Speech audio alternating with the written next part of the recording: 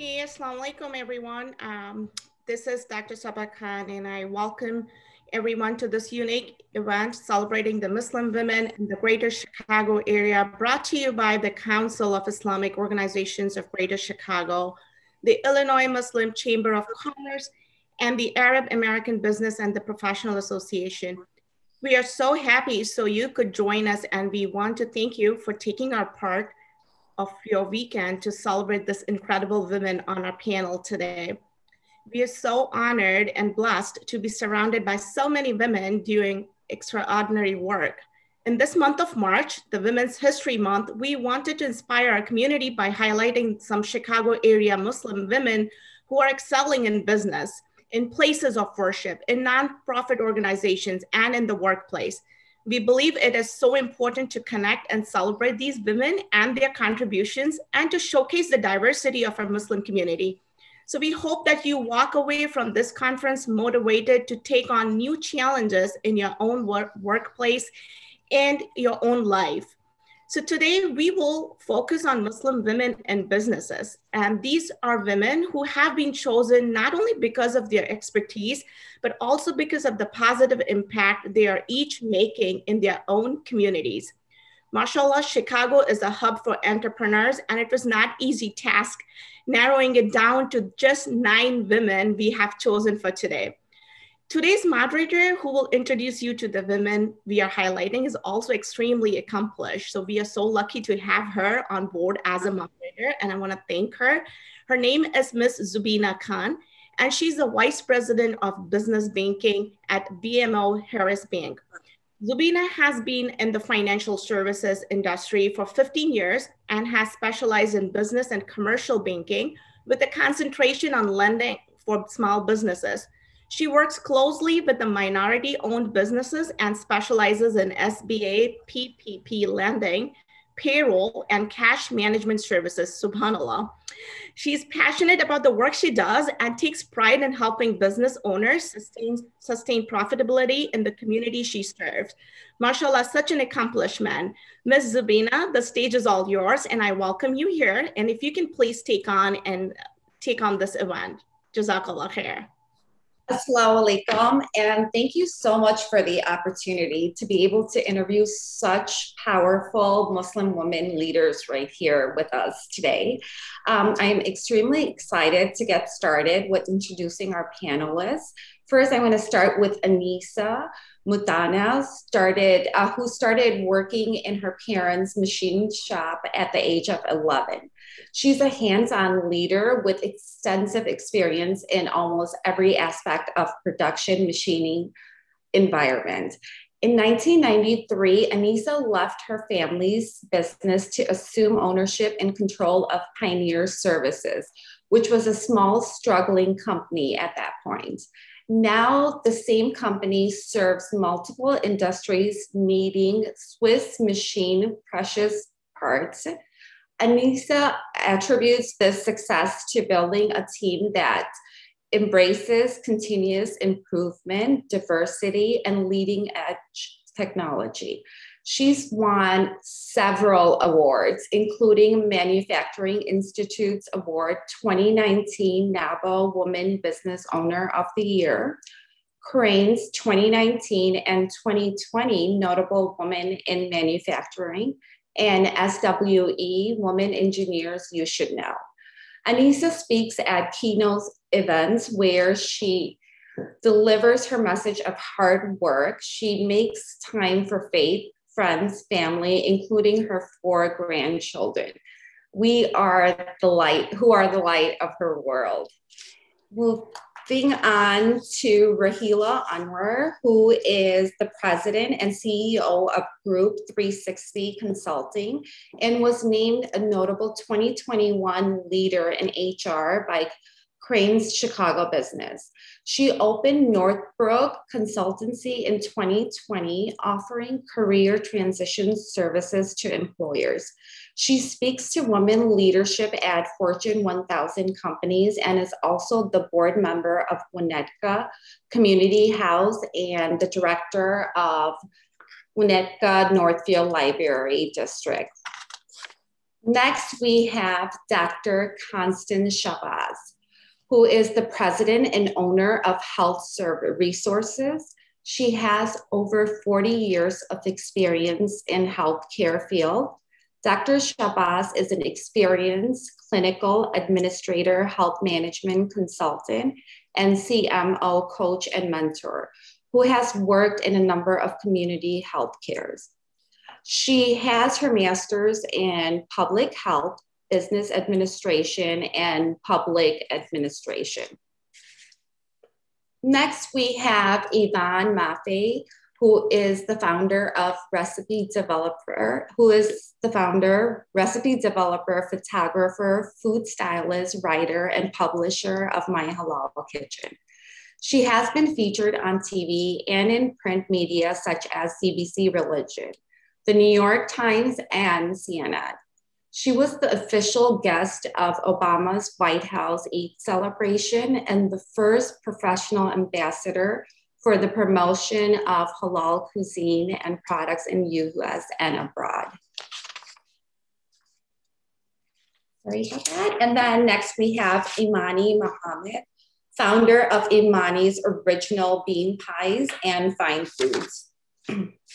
her mission, she started her company in 2005. Her mission is to provide healthy alternatives to dessert she puts her heart and most importantly, her family into her pies. If you haven't tried it, you must go and try some. Her pies were voted the best in Chicago by Chicago Tribune reporter Louisa Chu. Next, we have our very own Ikra Azhar, a former um, Prince journalist turned digital marketer and entrepreneur founder of a digital marketing agency and Muslim women entrepreneurs. She remembers her youth editing the message and doing pro bono graphic designs with work with MCC Youth and other non-for-profit organization. She now brings her branding expertise, creative direction, and social media strategies to the communication department of CIOGC. Hira Umair, Scrumptious by Hira, started in 2011. She started off as a passion that turned into a hobby, and five years later expanded into a friendly neighborhood bakery known by the community today. While she originally began baking from her mother's kitchen, her loyal client base allowed her to expand to an official storefront she won several awards, including Best Bakery of Lombard two years in a row. She's also been featured in print and also on television on the Fox News. Sylvia Morales is the founder and of Refine Accounting Services and tax firm. After spending more than a decade in corporate America, where she obtained a controller position at a public traded global manufacturing company, she decided to take her experience and pave her own way as an entrepreneur. Additionally, her passion to serve the community and her Muslim faith led her to be a founding member of Ojala Foundation, Latino Muslims of Chicago, where she serves as a council member and director of financial affairs. Furthermore, she is the financial advisor of Shy Care, a non for profit dedicated to serving Chicago's homeless communities. Well, now that I made the introduction, I would like to turn it over to you guys to talk a little bit about your business and how you got started. We can start with Anissa. Sure.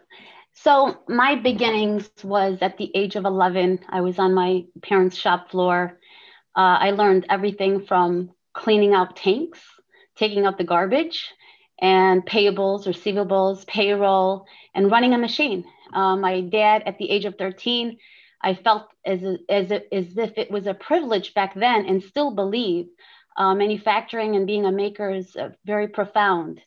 And um, as the only girl, uh, even within my family who uh, believed in me and in my you know participating i was always you know the princess the you know always daddy's little girl and no matter what i did um, i didn't feel that people were taking me seriously within the company employees, even customers, and sometimes even truck drivers. And so I realized that really to really pave the way and to make a name for myself, I had to leave my dad's company. And at age 23, back in 1993, and for those of you that are doing the math, I'm 51 years old.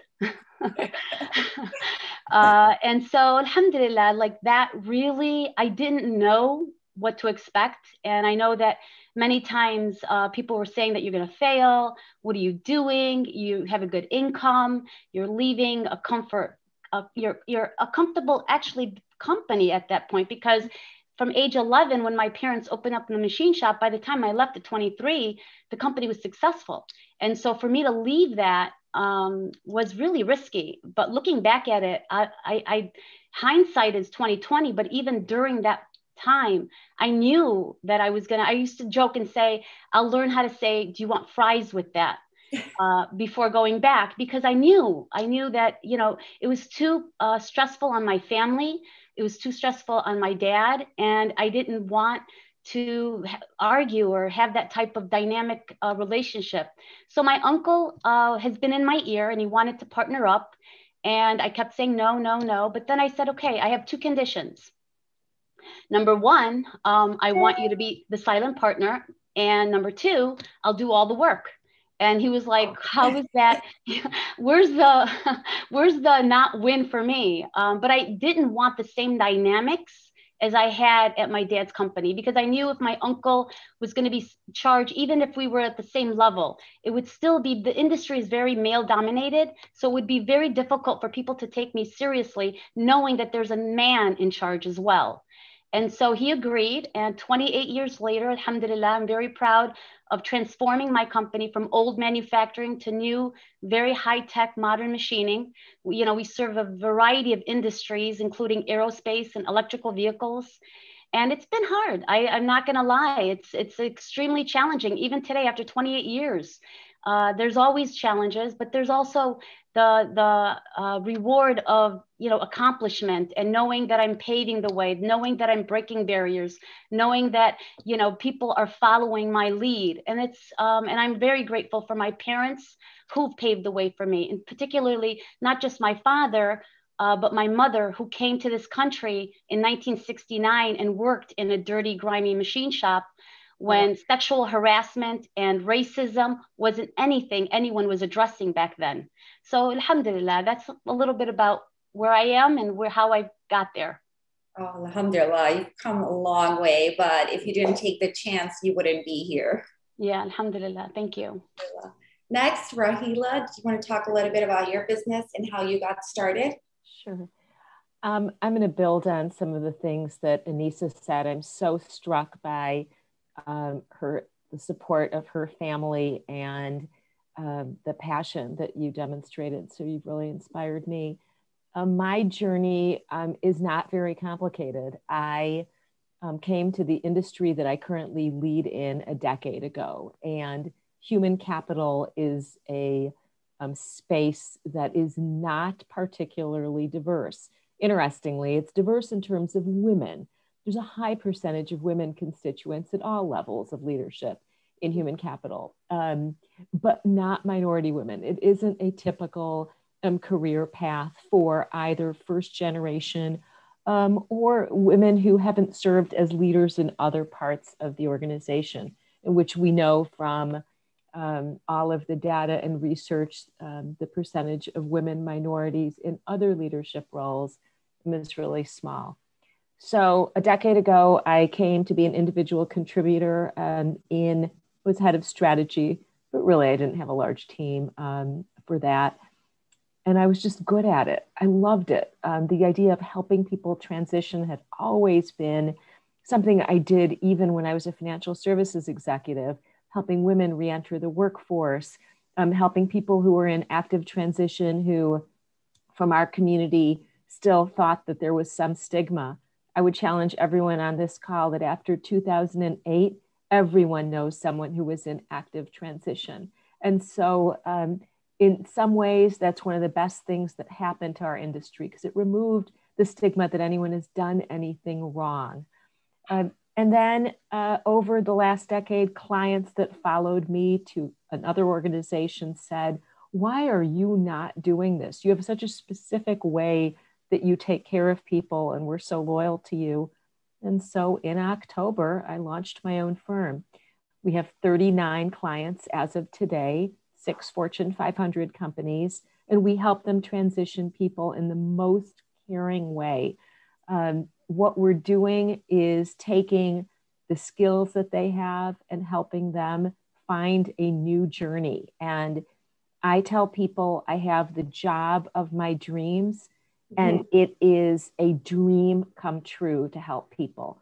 And I don't mean for money. We only accept compensation from companies. Everyone else who reaches out, we help at no um, fee to them ever.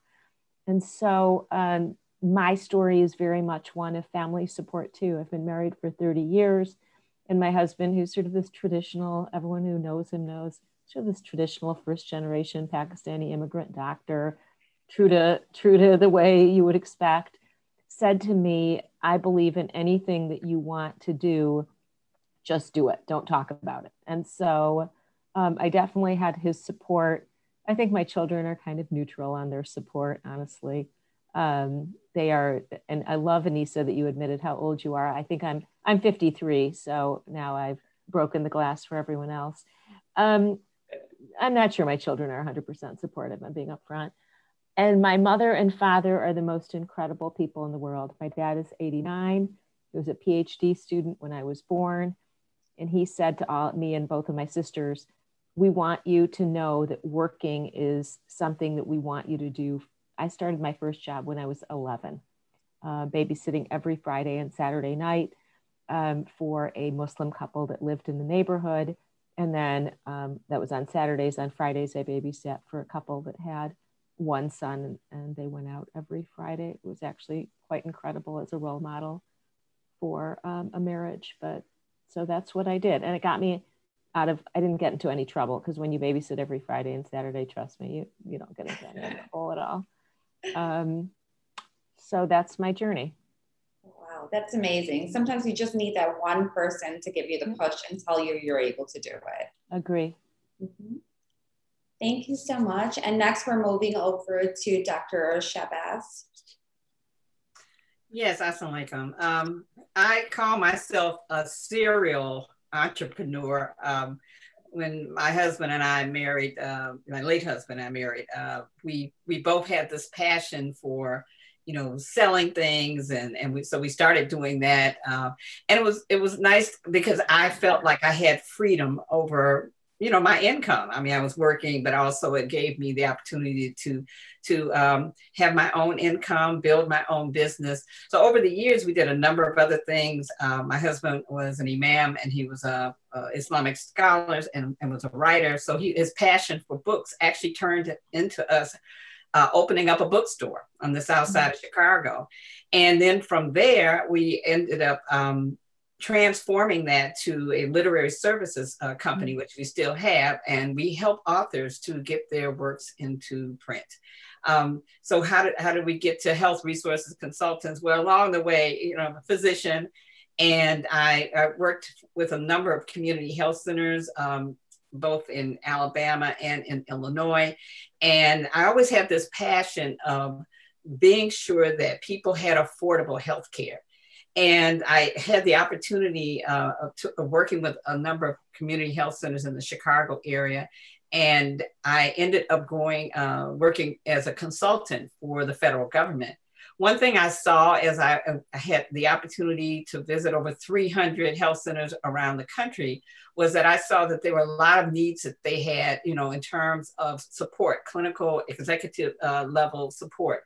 And so that came you know, I thought about this. I said, well, wait a minute. If the feds aren't doing it, this it, to me that's called opportunity.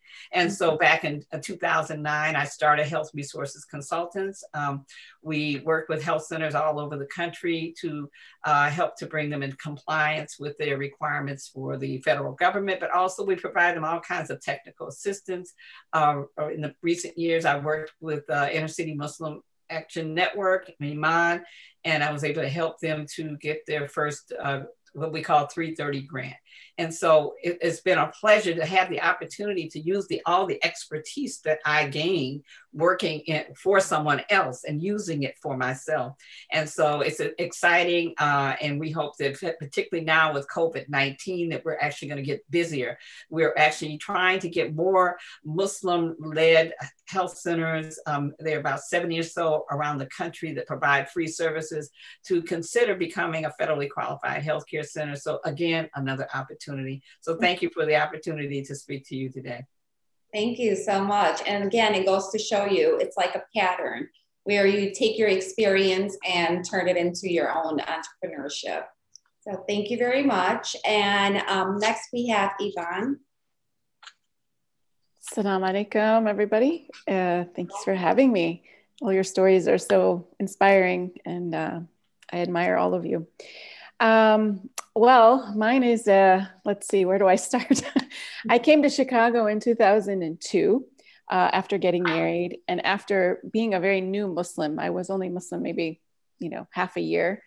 Um, and prior to that, I had a background in international development and teaching Spanish and I had certification to teach English. So when I got to Chicago, I ended up uh, teaching English to uh, an all girls school. Um, and uh, then that's how I really got to know the Muslim community. And I loved teaching. It was wonderful. I loved learning, you know, about the community there. And I was a new Muslim, so I really needed that support. But in the back of my mind, my dream had always been to be a travel and food writer. And um, before I was Muslim, I lived in San Francisco, and that kind of fed that dream because after work, I would I would hustle at going to restaurants and getting out in the foodie world way before Instagram and way before hustle was a thing. But I started freelancing um, at that time, so I would you know go to restaurants and you know give people advice about where to go, and I they were there were websites that were available at that time to to send out your queries. And so I, I was doing it on the side. But after i became muslim i kind of had a conflict of you know is that something i could do? Um, you know it's just a mental thing. But you know i kind of just dove myself into the community and also learning more about my, my my religion and my new family and all of that. So but that thing was just burning inside of me. And then 2008 hit recession um, and I was a little burned out from teaching, to be honest. Um, and the thing that, that kept gnawing at me was that, you know, this food and writing thing. And I knew travel was really difficult. I wasn't going to be able to do that.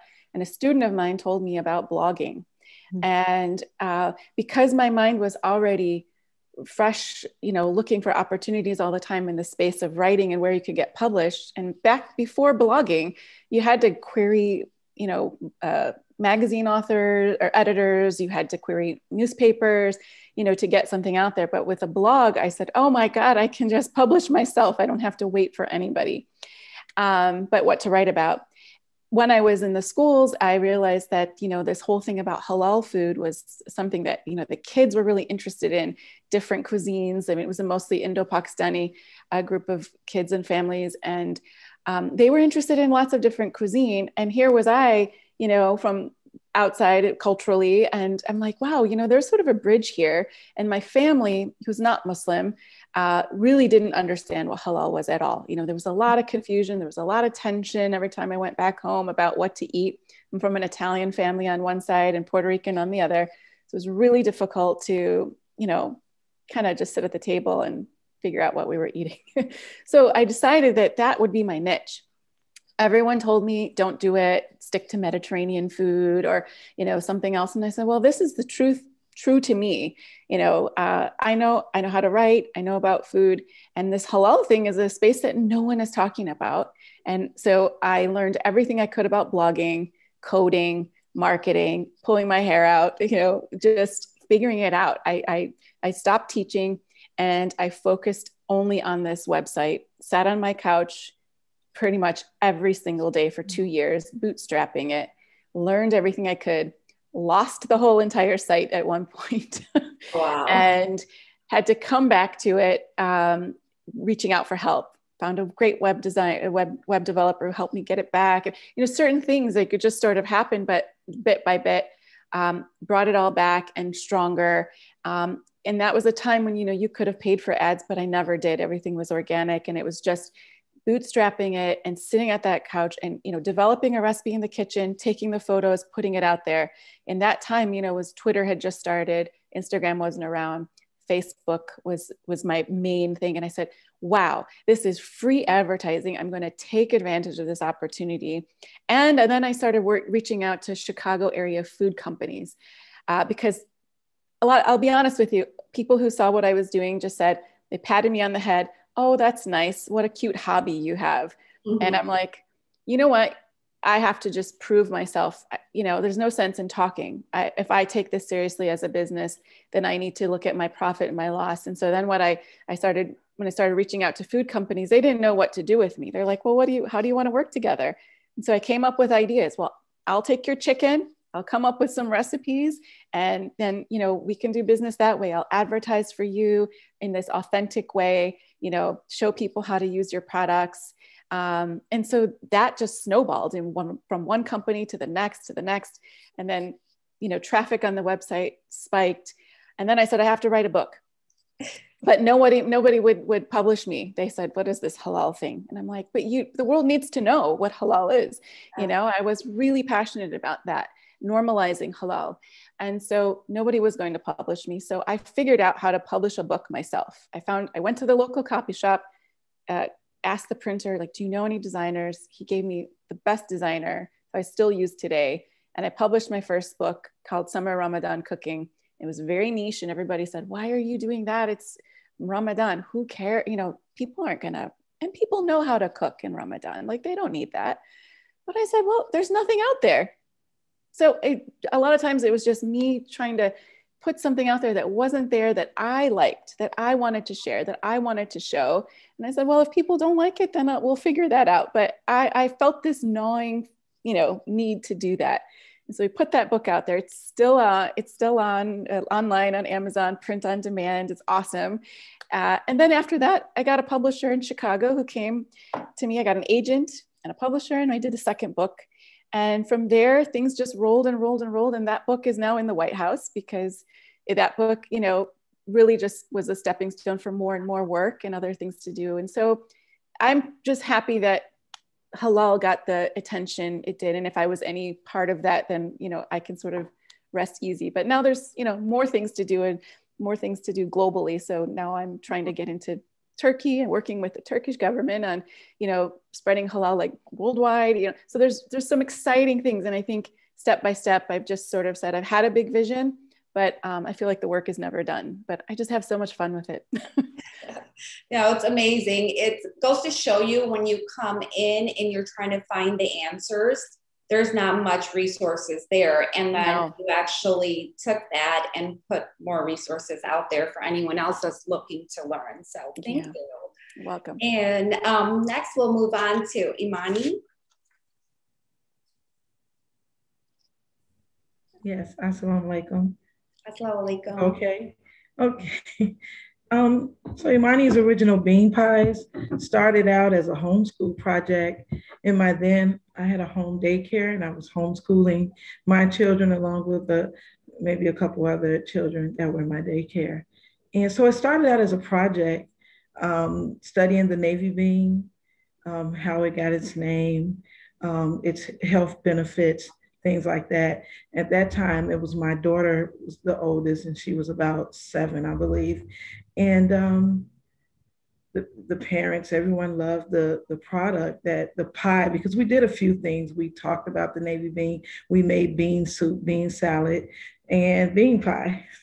so the bean soup, of course, was something they were used to. And then the pie was our first time making it together. So the parents they encouraged us to like keep making it and maybe we could sell it for a fundraiser and we did and from there, I, I saw that it was something that I could use to show our youth that we could make and manufacture our own products. And fast forward, I think we started around 05, 06. Um, we began selling it as fundraisers, and then it grew from there. Um, those youth are now mostly um, teens, uh, college students, and adults, young adults. and they basically helped to grow Imani's original bean pies. wow. Mm-hmm. That's all good. Getting everyone involved to take part. Right. Yes. and, and, and many still are, and many are able to come back with knowledge that they're learning and help us to you know grow e- even further and then we have some that are entrepreneurs themselves we have artists hairstylists uh, you name it so i'm really proud of what was able to grow out of this absolutely well thank you so much ikra we have her next Assalamu alaikum, everyone. I'm Ikra, and um, I, I basically identify with so many of you. It's this kind of an event that made me want to start Slate Collective. I wanted that kind of support day in, day out. Um, but where did I get started? I mean, if you ask my parents, I'd say I'd always had an entrepreneurial spirit. Um, as young as 17, I was launching my own national magazine. I was a Muslim youth literary magazine, and we took it to ISNA. Um, then I realized that it's not magazine publishing that I didn't know it was business. So over the next couple of years, um, I was working as a print journalist in Canada. Um, when that started to die down, and I was, you know, pregnant with my son, I realized I wanted to do something that gave me some location freedom and some time freedom, and uh, discovered digital marketing. Where before I used to think that was just a male-dominated, sleazy space, I saw it really changing. A lot of my peers and colleagues were going into that and um, I sort of just stumbled upon SEO. Um, you know, uh, one of my YouTube videos really took off when I didn't even know what I wanted to talk about. Um, so I was like, what is this? And I really loved it. And uh, it was my first few gigs actually where I saw the power of women coming together, women influencers who had helped advertise certain like, you know, apps uh, that I was working on. And I realized that this could be a community and Toronto was such a great space for, you know, the Muslim women entrepreneurs.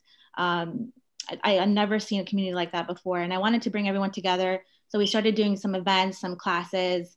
I'd never really seen a community like that because we it wasn't just a, a nonprofit. We were teaching business, we were teaching marketing, connecting women to each other to collaborate and you know grow their sales and things like that. And then we started getting requests from other cities to do the same thing. So it's it's now like a global um, online community. Um, obviously, with COVID, we have become definitely more online. But uh, previous to COVID, we were doing physical events in different cities, uh, bringing you know women with untraditional career paths or women who are entrepreneurs. Um, you know, and some of you here also, you know, we've met because of Slate Collective. Um, so I've, you know, been really, really uh, grateful that that just happened. And I consider myself a serial entrepreneur because um, once I started that, I started to have more problems that I wanted to find solutions to. Um, so while I was building that community, I would, you know, sometimes want to leave my son someplace and I'm a single mom. So it was really hard to find that support the way that I needed it. And I built a Muslim uh, caregiver site, kind of like the care.com for Muslim families. Um, right now, it's, you know, currently for pandemic, we've made it free, but it's a subscription based site. Um, and, you know, we've uh, been doing trials with the Toronto and Chicago audiences, but it's supposed to be something that all, you know, in North America can use. Um, and we've actually been uh, receiving some interest from investors, but I'm just not ready for that yet. Um, and you know, every part of it has been problem after problem, but I think as entrepreneurs, we kind of share this drive and this passion where you know we just know that needs to exist, and it doesn't necessarily faze us. So um, you know, always uh, getting questions about how did you you know manage to do more more than one of these brands at once, or like you know how did you get this you know out there how did you you know end up doing this thing and it's honestly like when you put your mind to whatever you're trying to bring out you want to bring that vision out you find those you know resources you find those solutions so i was never someone who was going to build a tech site i never knew i was going to be a muslim woman in marketing or business i literally thought i was going to be a novelist and i majored in creative writing but here i am now so um, it's so great to be in your company and learning from you um, especially women of all you know ages and experiences here. So thank you for having me. Thank you. And you're absolutely right. Once you put your mind to something, you can absolutely do it. Um, next, we have Hera. Assalamualaikum, everyone. I forgot I had to speak as well because I've been enjoying everyone's stories so far. there's a few familiar faces here. Miss Maffei from Halal Kitchen was my English teacher. so so happy to see her here. And, um, and we, we baked a cake together too. Yeah, I just remember that we did that Facebook um, live session before. Yeah. Um, so how I got, yeah, good to see you as well here. I also know Ikra from her Slate Collective, uh, one of her events from there. So it's really nice to like, you know, hear everyone's stories and how they got into this and, you know, um, how they're like where they are at this point. Um, so I own a bakery in Lombard. It's called Scrumptious by Hera. Um, so my story is not as crazy as everyone else's, but basically the way that I got into it, I always wanted um, like a creative outlet. Like I was in search of a creative outlet. I couldn't draw, I couldn't write, I couldn't, you know, do majority of the creative things that were out there. And I tried my hand at everything ever since I was little. I remember I would always be like trying new things all the time. So cake decorating also just happened to be one of those things that I was like, oh, well, let me, you know, let me try my hand at cake decorating. Um, and it started off where I had seen like an advertisement in Hobby Lobby for a Wilton class that was like 20, 50% off. And I was like, oh, it's only 20 bucks. I dragged my sister. I was like, you know, let's go try out this class because I need something to do. Right. So I, and it was like the dead of winter. So in Chicagoland, we, we know how our winters are. So I don't know why I decided I'm going to do this, but I took my sister. We did like, you know, the four classes that they offered. And I was like, I realized like, I can't draw. I can't like I can't draw a stick figure to save my life, but I can make crazy cakes. I was like, this is awesome. So that just kind of when I found that outlet, that you know, that was awesome for me. Like that was I was like, whoa, like there's something I can do in this world. Um, but at that point, it was not meant to be turned into a business and everything that it is right now. Um, the way I got into that was for the two years I just, you know, practiced, make cakes for everyone uh, my family, friends, all that kind of stuff. And I just got better and better at it. And my family would always tell me, they're like, you know, just start it, start it, start it. My brother and sister, they named my business and they were like, we're going to make you a page and you're to post all your cakes. And I was like, it's not something I want to do, but okay. And I just, you know, kept going with it. I know I wanted to keep making cakes and obviously they're expensive to make. So you can't just keep making them for free for everyone. Um, in 2013, I had gone through a divorce while having a child at the same time. So I'm a single mom. Um, and that's what led into the business where I was like, you know, what is something I had never worked a job in a day in my life, you know, daddy's girl, like Anissa, but Anissa was still hardworking. Um, so super daddy's girl. I was like, oh, okay, what, you know, what am I supposed to do now? I also have a child. Um, so at that point I was like, you know, I, I don't want to rely on my parents or anyone else. Like financially i want to be financially independent but i also want to be here for my son. Like i want to raise him. I want to be in his life. Um, so that's when i decided you know how about i take this passion and turn it into a business? And the funny thing here is when i was in school i wanted to become a teacher. And my dad would always be like you're just going to waste your time going to college for you know teaching. You're going to be a like a business person. Because we're like we're like Pakistanis and we're Memons specifically in Pakistanis, and they're known for being business people. So he's like, you know, business runs in your blood. And, you know, my dad telling me that at that time, I was like, okay, dad, you know, whatever. But I didn't know, you know, 10 years later, I'm going to be a businesswoman. So um, that's just how it started. It started from my parents' basement, uh, their kitchen, their basement. And then it just kept growing from there. You know, like I would take orders, I would work at night spend time with my son in the daytime. And eventually I realized I was like, you know, this is, I'm outgrowing the basement, I'm outgrowing the kitchen. And I didn't want to, um, like, you know, take only a specific amount of orders or things like that. Like, I didn't want it to be limited. So around the three year mark in 2016 is when I decided I was like, you know, let's just turn this let's, let's just see where it goes from here let's make it bigger that's when i decided i'm gonna open a storefront um, and alhamdulillah you know we i took undertook that um, and we opened the storefront. I've been here for almost five years now in Lombard and, you know, won multiple awards, featured in multiple places, done a crazy amount of work.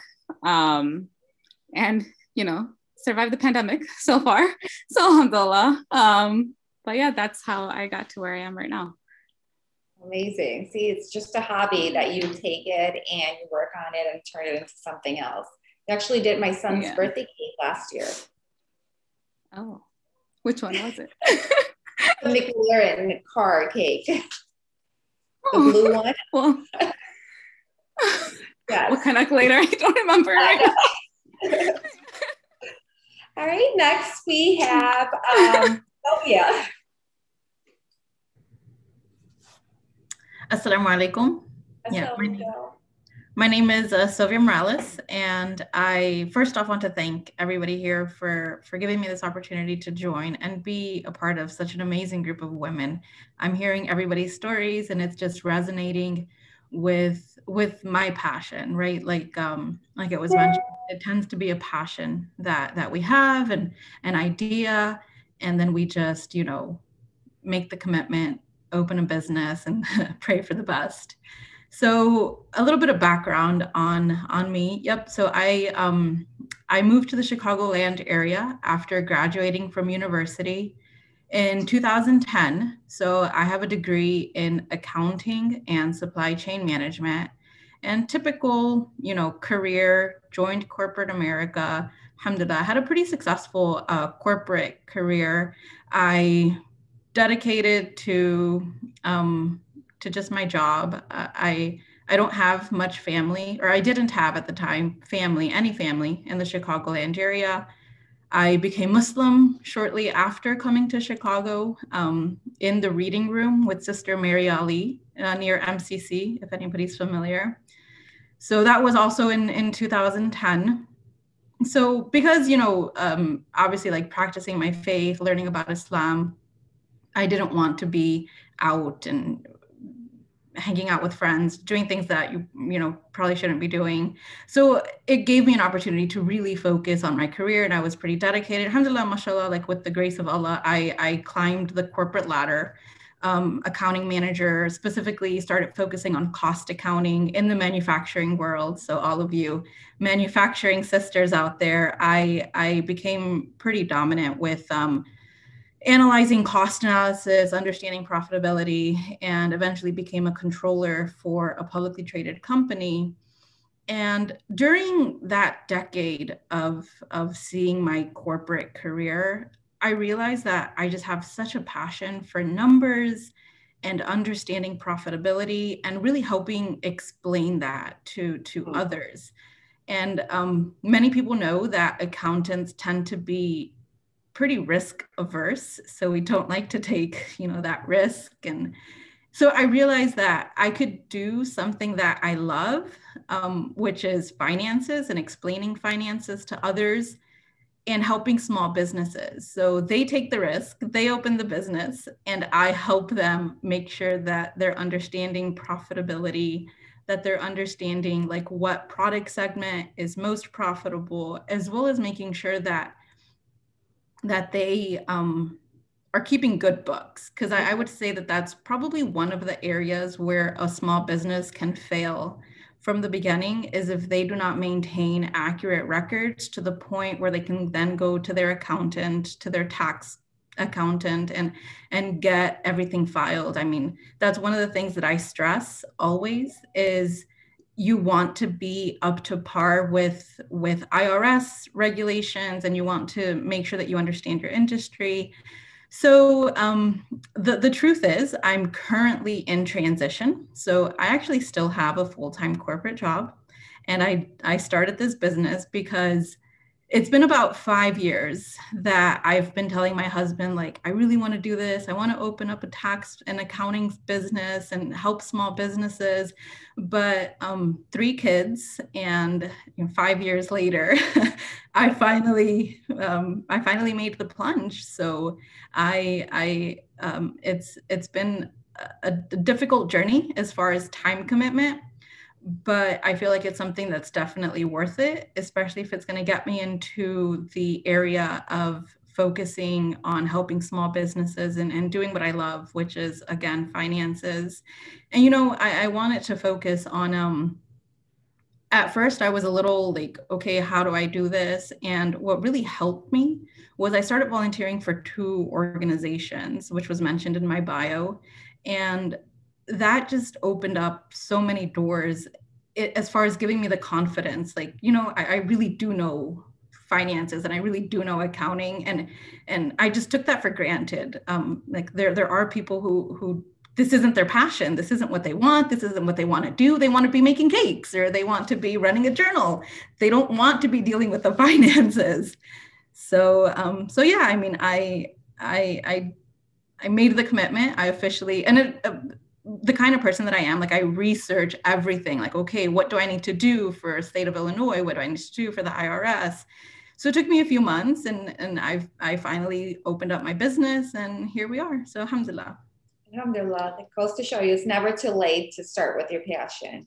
And if you have the knowledge, let's get out there and try to help as many people as we can. Thank you so much. Now that we've learned so much about how you get started and what your passion is, we're going to dive into some questions. So I will start with Anissa. Um, in your career so far, what has been the most significant milestone for you? Do we have two hours? I would say, first and foremost, I have to say I'm completely honored to be on this panel, listening to the stories and just knowing that, you know, there are women out there representing our faith and doing it so well and are breaking barriers and becoming successful and willing to share their stories. So kudos to all of the ladies. I hope to connect with you after this. Uh, mashallah. So I would say, um, as far as challenges, there's so many. Mm-hmm. Uh, there, you know, in manufacturing, if I were an old white male, I could list 20. Yeah. right. Um, so in the beginning, I wasn't very um, willing to network, not necessarily because of the lack of confidence, but really the time.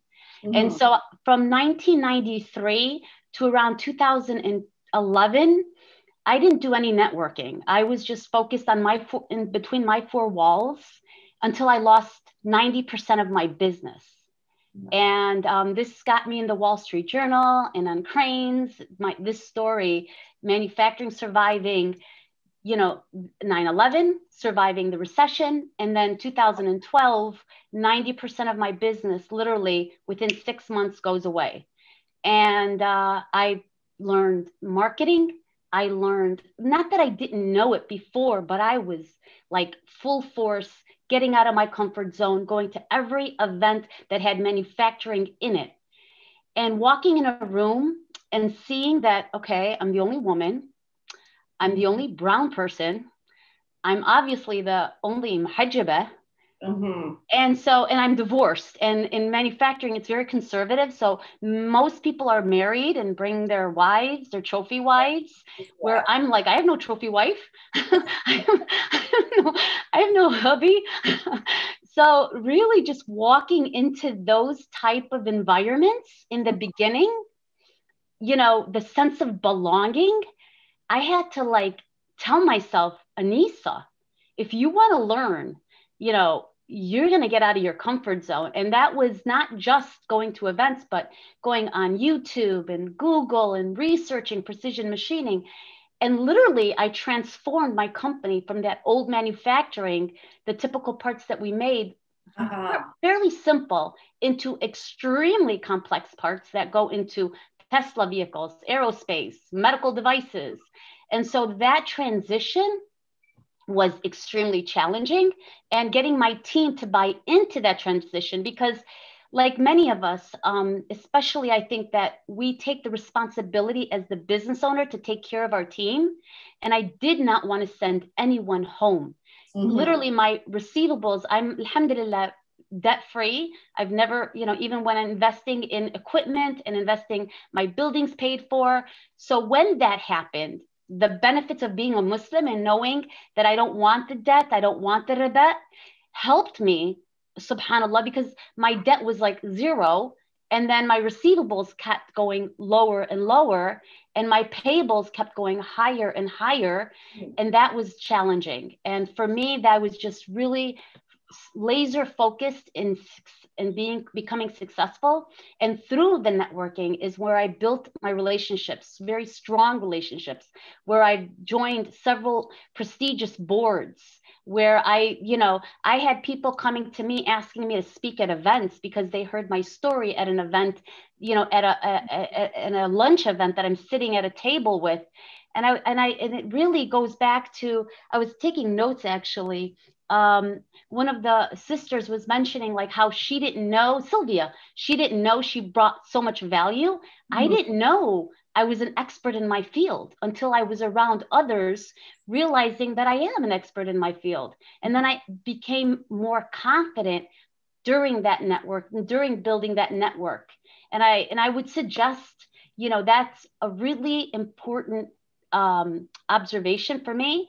And uh, I always tell people out there that want to become successful and how do you build your confidence mm-hmm. there's a mm-hmm. lot of a lot of advice i can give but one of many is building the network inside and outside of your uh, workplace and building those relationships and make it a win-win don't make it just that you're needy and asking a bunch of questions but also bring value and that will build your confidence and mm-hmm. that will broaden your network and that network will then become your plan b your plan c your plan and this is obviously the land of opportunity. The more people that you know the more people that respect you the more that they're going to want you on their team. So even if you're not an entrepreneur and you have a, a job and you become you know very frustrated in that job that's the best way of finding other options. Mm-hmm. So I, I, was trying to answer your question and yeah. then also kind of, um, you know, make my uh, story resonate yeah. with others. Mm-hmm, absolutely. I have another question for you, actually. What role has your faith played in the success of your business?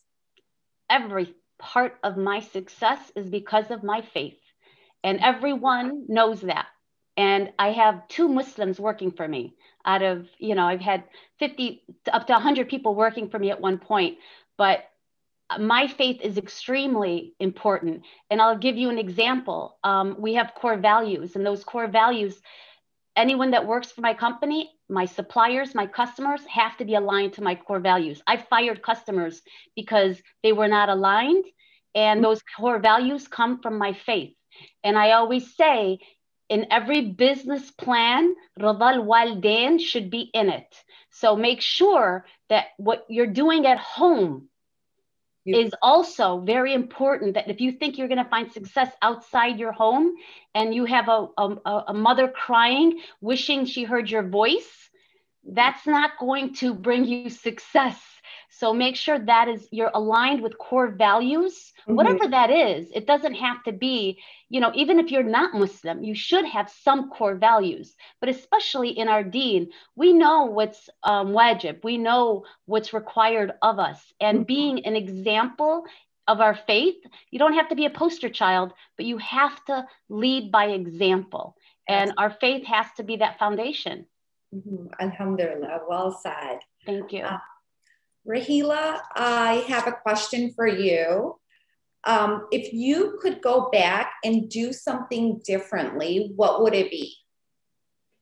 Um, I think Anissa hit the nail on the head. If I could go back um, to my first 18 years, which were all spent at one financial services company, I would have spent as much time developing an external network as I did in internal network. Mm-hmm. I retired when I was 40, and I probably knew after 18 years, I don't know, 8,000 of the 12,000 people on a first name basis. I had gone to a lot of roles, but that's where I focused a lot of my um, energy in addition to client relationships. But those were kind of secondary to being an internal person. I was head of M&A um, globally when I retired in what Anissa said couldn't resonate more with me. Um, I intentionally started out um, a decade ago to have client relationships that were um, deep, that were complex. Um, and I, like uh, many of the people I think on this call, I don't go out at night. Honestly, I go to bed at 8:45. So like it's hard to go out at night. Um, number two, I don't drink. I, you'll never see me in a bar hanging out with people.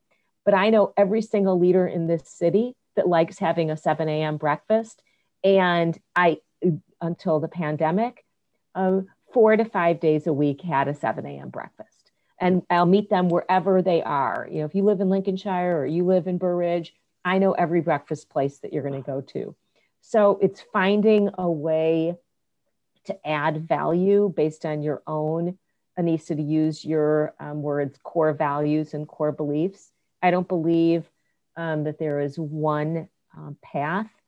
But if there was one thing that I would have done differently, it's starting out earlier with having as extensive a focus on networking as I've had over the last decade.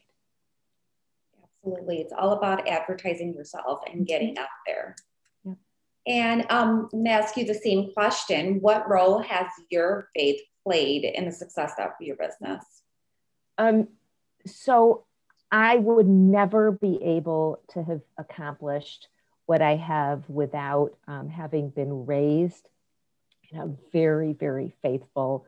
Um, I would say um, last night when I went over to my dad, my dad almost always is praying Maghrib when I walk in the door. Um, and to my, my mother was not as faithful. My father was the one who never, ever on Sundays we weren't allowed to miss Sunday school. I grew up going to MCC. Um, then, when my husband and I got married, we joined IFN up north. And then, when we had children, um, our children were the same way. They were never allowed to miss um, um school at ICC, where they went to Sunday school. But people have heard me speak. Um, I, I, don't know um, if this is boring, but for the first 15 years of my career, I never missed fasting but I would go to lunches and cut up the meal and move it around. And once in 15 years, someone noticed. Once. Wow. And that was a lot of lunches, guys, because people are self absorbed and they're busy. Mm-hmm. And someone called me after a lunch I had been at and he said, You're Muslim, aren't you? And I said, Yeah. And he said, I noticed that you didn't eat one bite. And he had served Northern in the Middle East. And so he was very familiar um, with uh, just you know fasting and the time of the year and he still had friends who were there so it was after that um, he said why don't you just tell people and then after that my assistant would tell people and say rahila is fasting she's still going to come to every meal actually it's sort of strange watching people eat is sort of motivational when you're i know that's strange but um and so it transformed how i i conveyed my faith here in the small town that I live in, and Sabina, we were talking earlier, everyone knows when my husband and I are fasting. They're they're cheering us on just before our before dinner walk. They're saying how many more days are left. It's just a certain amount of confidence mm-hmm. from being able to message that I really didn't have when I was a young professional, and now feel much stronger about. Um, in fact, a year and a half ago, we hosted a dinner for my top 20 clients, every single person showed up. It was on a Friday night. I, mean, I can invite them to anything, and, and trust me, 20 people aren't, you know, aren't 20 couples aren't going to show up. Every single one came to our home. And that was joyous. So, inshallah, those days will come again. But um, so it's a really important part of my life. Absolutely. Yes. I feel like faith is everything. That's how you lead to success. Um, I'm going to move on to Dr. Shabazz. Um, I would say, uh, let's see over here. What financial advice would you give to new business owners just starting off? Mm-hmm. Uh, get the sister who's the accountant. I mean, seriously, you, you want to make sure that, you, and most businesses have problems in that they're undercapitalized, mm-hmm. you know, and so in this day and time, you know, um, because your markets have been kind of skittish and if you're new out there in, in a business it, it, it, may be hard for you to generate you know the, the capital you know you might not be able to get the sizable loan that you need and so i would say uh, you know i, I did a, a, a report that was doing some uh, research on, you know, what is it that most small business people do to capitalize their business. And a fair number of them borrow from family members. Uh, they may uh, pull from their uh, retirement uh, you know. And so you have to make sure though that you still can take care of your, your everyday you know um, uh, expenses. So you want to make sure that you uh, go after any funding. I know uh, someone i'm not sure if you you know sba funding uh, anything that's going to help you to cushion because there are going to be those air times in which you mm-hmm. are, are, really struggling. Um, we had um, a catastrophic situation where we had opened up this bookstore and I was in the, the in between uh, getting my so-called dream job after graduate school. And in the course of less than a week, we had a fire and my husband was in a life-threatening car accident you know so we had to um, abruptly close down our store but alhamdulillah you know you talk about faith you know we had faith in allah that this this this business was bigger than us. It was a passion that we have, and it was a way of us um, actually fulfilling what we saw as our life purpose and also it gave back to the community. So we had to be real creative you know because we had to close down for three three months.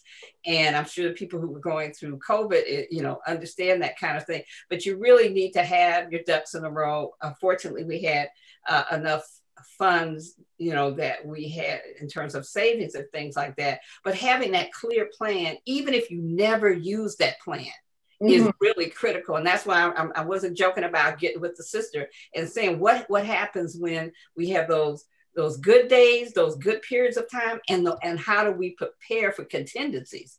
Because it's better to have that plan and never need it than to need it and never Okay, so mm-hmm. this is, you know, this would be my advice to someone. well, thank you so much. And I'm actually going to move over to the accountant in the group. So, Sylvia, we want to get your perspective of this question as well. Want to see with your experience what you have to say about this versus someone that's been in business for 40 years and be great takeaways for everyone.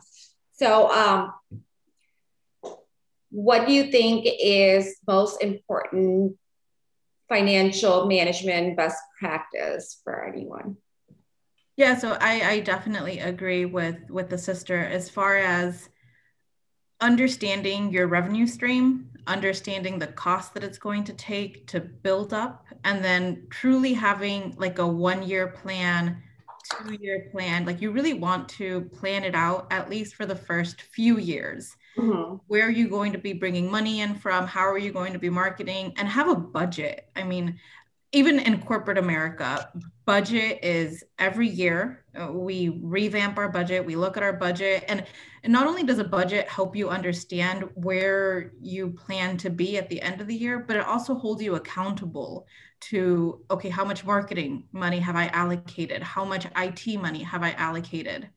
So um, that would definitely be my advice. And and one thing would be to try to do this as soon as possible. Don't let this be an after fact. You know, like don't let this be, you know, oh well, I'm I opened up my brick and mortar and I don't know how I'm going to pay rent. You know, that's the kind of stress that we I would advise anybody to stay out of because when you have a passion to do whatever it is that you're doing, you don't want to be worrying about the finances and how are you going to pay rent. You want to worry about uh, servicing your customers and providing a great experience. So making sure that you do that upfront, making sure that you do that before this should be one of the startup thoughts, mm-hmm. not, you know, a year, two years later, because it, it could fail. Absolutely. And it's so much easier to get funding when you least want it versus when you need it the most. So it's best to pre plan ahead of time and budget, budget, budget. Yes. Great. Um, I do have another question to you. Our obligations include time for Allah subhanahu wa ta'ala, time for ourselves, time for our relationships. With running a demand in running a, uh, I would say maintaining, sorry, let's start this all over. Given the demand of running your own business, how do you maintain your obligations along with your relationships and having a successful business? So again, it all comes down to planning. So it's all about prioritizing and um, setting setting these strict guidelines upon yourself, upon your family. So now I'm see- speaking from like a revert perspective. So I did become Muslim when I was about 22, 23 years old. So um, one of the hardest things is explaining to my family my requirements, my obligations, first of all, my decision.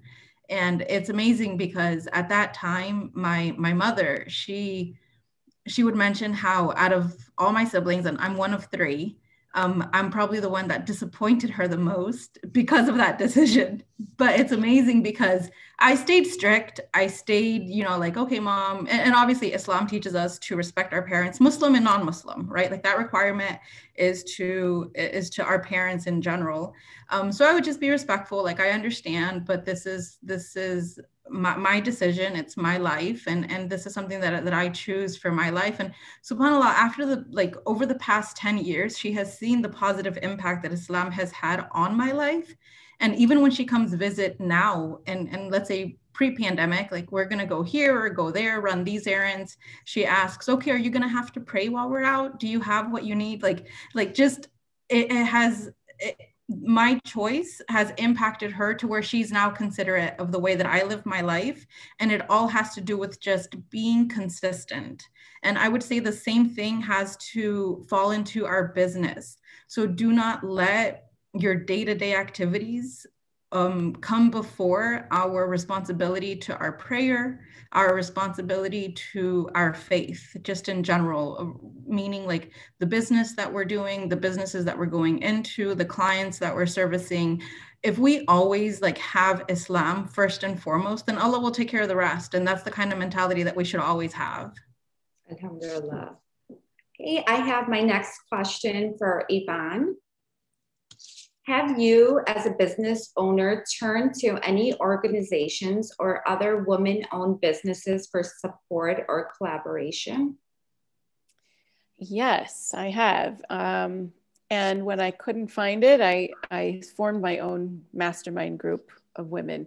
Um, let me let me go back for uh, to answer your question. So when I first started, um, I realized like as Muslim women, we have some unique needs and I'm I'm always a resourceful resourceful person looking for you know information when I can't when I need to know something. You know, I'm very curious, um, and so when I started my business, I was looking for answers to you know how do you start an LLC? Is an LLC better than a S corp? You know, how do I do this and how do I get started?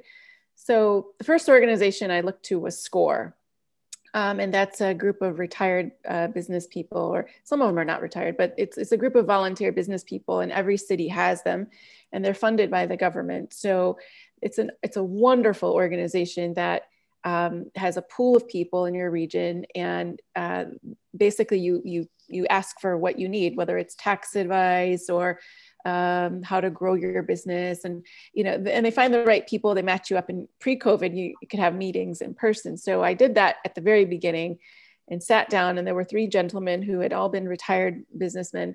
And i laid out all of my stuff and i said please help me. You know i, I don't have any business background. I have no one in my family is in business or nobody could help me and so they basically saw what I was doing and they said, Do you think this is a viable idea? You know, and, and they asked me, Well, what's your vision? And I had I had put in, I had put my vision on a big board and you know how I wanted my business to grow. And they basically guided me over months and months of time, you know.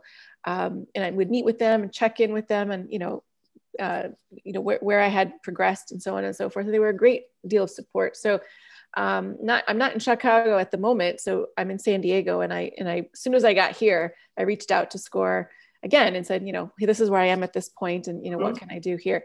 But at, to that end, I think I know for for women and Muslim women in particular, I really felt that there there weren't enough uh, resources for our specific needs, whether it's you know interest-free loans, um, you know the workarounds in Ramadan, and you know we have we have very specific, I think, um, you know family obligations or prayer, you know things like that. Like I really wanted a group of women who who I could go to that would really understand and help me, and we could kind of network with each other.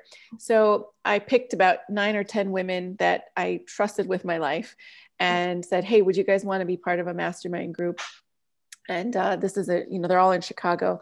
And we used to meet once a month and basically just talk about you know i would say this is my entire problem you know and there would be tears and there would be you know frustrations and you know we would focus on one person's issue every month and then everybody would chime in and help.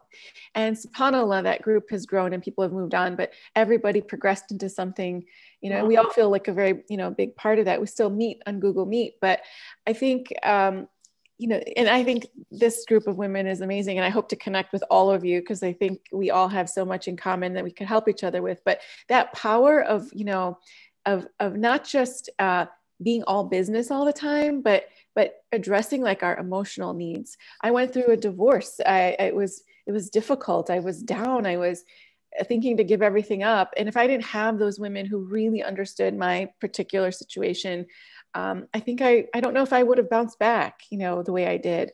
Um, and in other words, there's always, you know, difficulties. And I think like those emotional uh, aspects of our life are, they do affect our business. And they're, you know, I think that's just one thing I would suggest if, if anybody can like find a mentor or mm-hmm. a mastermind group, or if anybody wants to join mine. I mean, there's things like that. I think that we can, you know, be creative about because there are, there are different needs I think we have than, than a lot of other women. Absolutely. And I think we should all take advantage of all these wonderful leaders that we have over here sharing yeah. their input let's try to exchange contact and get yes. in touch with each other and collaborate and see what outcome we can get out of it. Yeah. Um, yeah. I agree. Totally. Mm-hmm. And my next question is for Imani. In response to COVID 19, what have you done to stay engaged with your customers? Oh, thank you. Well, we utilize social media largely for a lot of our advertisements and our ability to stay connected. Another thing that I do is I allow my customers to contact us personally. And so, with that, with them having the ability to do that, um, as we have made, had to make certain changes and maneuvers throughout this pandemic, many of our customers have been able to contact me. And it's funny because they'll go in the stores and ask questions and they'll say, Well, I don't know. And the customers will say, Well, I'm gonna call her. and so so that's that's pretty much what we did. I'm I'm kind of more of a hands-on type of person. And um, so that's that's basically it. Social media, uh, use, utilizing this technology like we're doing now. Perfect. So you're basically um, allowing your customers to reach out to you. You have the most welcoming persona for your customers. Um, I do have another question for you. What would you say your faith has played? What kind of role has your faith played in the success of your business? so pretty much everything because of what the business is. Imani's original bean pies, uh-huh. um, and bean pies being a staple in uh, Muslim communities for years, even before I was even born. So um, naturally, um, because of what my business is, I get a lot of questions. Um, our company was featured at the Chicago History Museum. I think this is the last month that American Medina is running. So there's been a lot of, you know, positive things like that, interviews um, and phone calls that I receive because of my faith and because of what I do. Mm-hmm. So I, I, just want to say what the lady said prior to, to uh, what I'm talking about is, is so key. Um, whatever it is that you do, it should be. I used to say that when raising my children, like wherever I go, my children should be able to go um, our business should be the same way. It, it, it should be a part of our life, whatever our moral and ethics are, our morals and ethics are. We should be able to take it into our business and everything that we do. Absolutely. Mm-hmm. Thank you. And um, my next question is for Hira. How did you market your business and which tactics have been successful for you? Mm-hmm. Um, marketing my business mostly. I feel like I grew organically from the beginning. It was all word of mouth. You know, 99% of my clientele comes in and they say, you know, this person told me about you or that person told me about you. Um, and I feel like initially I didn't really need to like go out there and like search for clientele myself or like really put myself out there which when it hit me that i actually have to do that i was like oh so this is also a part of business you know what i mean? Where you have to actually go out and get the orders because alhamdulillah like from the beginning it was just you know this person told me that person told me and they they would just come and come to me. So i never really had to make so much of an effort. Um but when i did have to start putting in that effort i was like okay what, what do we do? You know? So um social media has been a huge one. I mm-hmm. also um outside of social media like i mean like i'll advertise it on social media. We do a lot of like different types of like events. So like when i first started my business i really wanted to um like help other people also get their like you know foot in the door or um, you know get their business off the ground. So in the beginning we used to host events at our shop where we would feature small businesses of different types. And you know a lot of those went out went on to open their own storefronts. And expand in other ways. So um, that was really cool. Um, and I feel like all these things come into marketing, right? Like all these different things that you do to set yourself apart. It's like people do take note of it. The other thing is we'll do like events. Like last year we did a lot of um, even with COVID, we had our Harry Potter Day event where we did like specific themed desserts for that day. Um, and you know, people came through. So it's like connecting with clientele on different levels um, through different people. So like when I won that like Lombard Best Baker of Lombard Award, that was one of like their requirements. I guess I said, um, you know, they noticed that we did different t- like different types of marketing that really set us apart from other bakeries in the area. Um, but yeah, connecting with people, social media marketing, and just offering like different things. Different like I we ran like a cupcake campaign last year and I just offer all these different types of things that would bring in different various groups of people. Of course, you have to kind of think outside the box and use different yeah. tactics to get customers in through the door. Yeah. Thank you so much. Um, my next question is for Ikra. Actually, I'm going to ask you the same question. Um, how did you market your business and what which tactics have been successful for you? Uh, this is one of my favorite questions um, because there's so much that you can do nowadays online. Um, it's no longer that you have to always put yourself in a newspaper or in a television ad. Um, you know, cross collaboration with other people's audiences. You know, there's so many different creative campaigns that you can run without even having to pay any ads. So Hira's right in that there's so many organic ways uh, to build your, you know, online community. Um, but also if you have a retail space, those things work for, you know, any type of business. It's not limited to only online brands.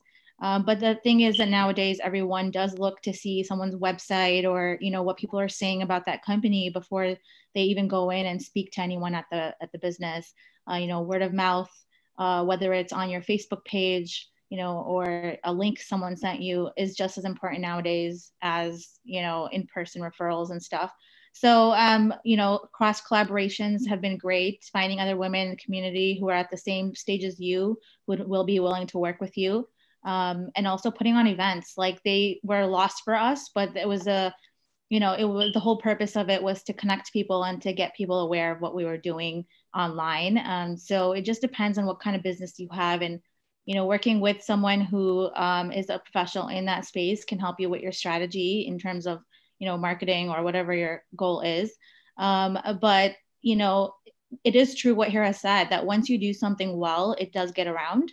Mm-hmm. um, so you know there's a natural momentum at play there. And so if you do one thing well if you focus on either one product or one event or you know one creative campaign um, it sort of opens more doors. And that usually helps uh, whether it's a publication or you know uh, someone wanting to work with you somewhere. So a lot of it has been natural. I mean i didn't really think you know the the day that i started all those strategies are the same ones that i'm using today is really evolved over time uh, and also because the business has evolved over time and you just have to keep feeling it out what people are responding to what people are you know wanting more of. There's going to be some things that take off more than others. Mm-hmm. uh, and uh, yeah it's been really natural and organic but you know it just really depends on your goals and you know what your business type is so like you know, there's different strategies I use from different brands.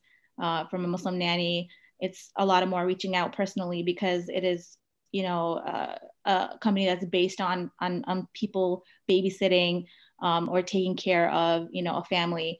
Whereas something like, uh, you know, my global community at Slate Collective, like I can do that video chat someone in Malaysia, and we've already built that relationship. Mm-hmm.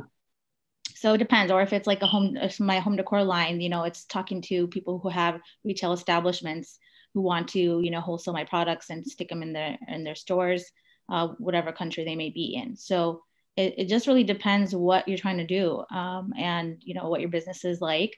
Uh, but it's so fun talking about strategies, and maybe we can do like another workshop sometime. Absolutely, yes yeah, I feel like there's so much information over here, and it looks like we're kind of running out of time, but I want to keep going because there's so much to learn from you guys. Um, I would recommend everybody go and like the CIOGC page on Facebook and follow along to see how we can collaborate together, or if you guys can join other workshops that we're hosting. Also, I want to say thank you to all the panelists. It's been an honor and a huge accomplishment to be sitting over here learning from all of you leaders today.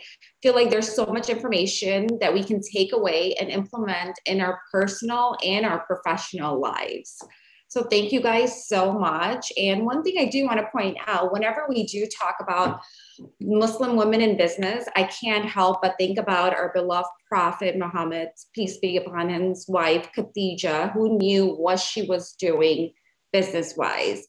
She made sure she did not compromise her modesty or integrity to succeed in a male dominated field of trade. I ask that we don't stop here. We continue to collaborate, we get involved in the community and see how we can spread our knowledge and help each other and help the community in growing. So thank you guys so much. And I'm going to turn it over to CIOGC. Thank you. I'd like to just say one more thing while we're waiting for the transition. There is a Facebook group that CIOGC created for all of you guys to join uh, to keep in touch. It is a, it's called CIGC Women, and the link is posted in the chat, but we'll also send it out to all of you guys. Um, you know, some of you we, will make sure that all the panelists are invited in, but also everyone who is in attendance today can join that, and um, it will it will be the same group for all the events that we do. Thank you. Assalamu alaikum. This is Zahra. I'm uh, part of the Illinois Chamber of Commerce. Jazakumullahu khairan for an excellent event. MashaAllah, very inspiring. Uh, we get to learn from each other. Um, and uh, we value all your um, uh, experiences. Uh, we're looking forward for more of similar events, inshallah, in the future, uh, encouraging more women to step in and share their experiences with others.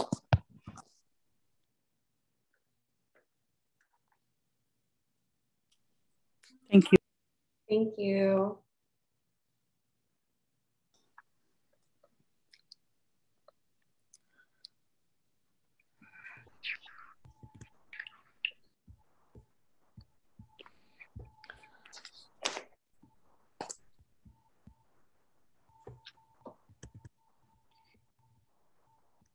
Before we conclude, I, I just want to take a moment here to thank everyone too. Um, on behalf of Council of Islamic Organization of Greater Chicago, I like to thank all the esteemed and the superstars that we had today, mashallah. It was so inspirational. Um, this was actually a kickstart of our weekly series in celebration of the Women's History Month, and it couldn't have been any better. It was such an inspirational session, not only for the women, but I would guess for the men attendees too.